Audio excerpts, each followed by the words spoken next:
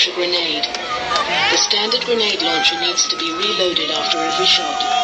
As with hand grenades, the reticule won't change size, but you will have to encounter the